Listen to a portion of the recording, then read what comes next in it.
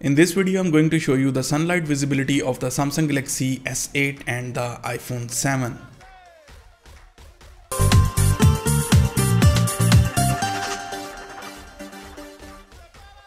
What's up everyone, TechCloud here and in this video I'm going to show you the sunlight visibility of iPhone 7 and the Samsung Galaxy S8.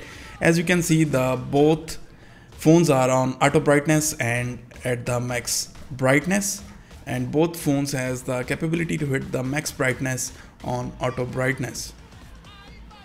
And you can make up your own mind which phone looks uh, better to you but to my eyes uh, the s8 was a little bit better but uh, actually it's uh, very nice to see that the iphone 7 with its lcd screen was more than capable and uh, it looks uh, plenty bright to use under the sunlight conditions you can go to the DisplayMate uh, website and you can check the scientific numbers from there and you will find that their uh, scientific numbers fully back this observation.